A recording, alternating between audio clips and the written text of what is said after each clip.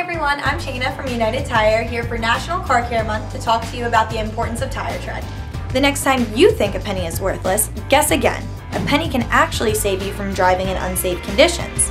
Tire tread is the rubber around the circumference of the tire that makes contact to the road. When the tire cannot grip the road, it could lead to the driver losing control of the vehicle.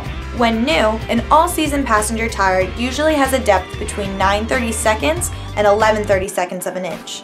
After use, the tire tread will gradually become shallower. Most states require a tire replacement at 2 30 seconds of an inch. So how do you know when you need to replace your tire before it's too late? All you need is a penny. Place the penny with Lincoln's head upside down in between the grooves of the tread. If Lincoln's whole head is visible, it is time to make your way to the nearest United Tire and Service to replace your tire. The more you know, the safer you will be. If you have any problems, stop into your local United Tire.